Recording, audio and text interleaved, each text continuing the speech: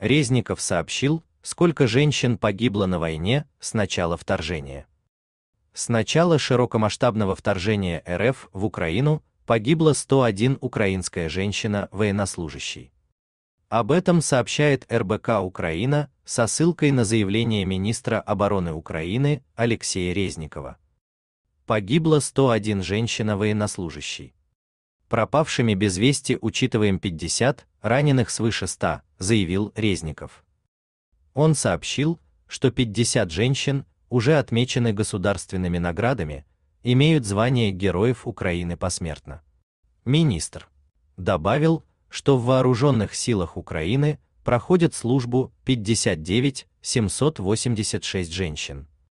Из них 41 000 это военнослужащие, а 19 тысяч это гражданские работники. На передовой участвуют около 5 тысяч женщин.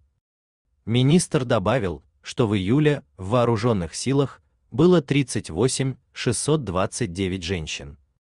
Он констатировал, что динамика увеличения является существенной. Напомним, в августе главнокомандующий вооруженными силами Украины Валерий Залужный заявил, что с начала полномасштабной войны России погибли около 9 тысяч украинских военнослужащих.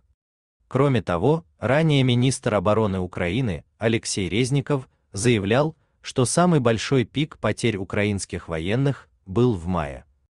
В сентябре глава Объединенного комитета начальников штабов США Марк Милли заявил, что за шесть месяцев полномасштабной войны России против Украины наше государство потеряло десятки тысяч своих защитников погибшими и ранеными.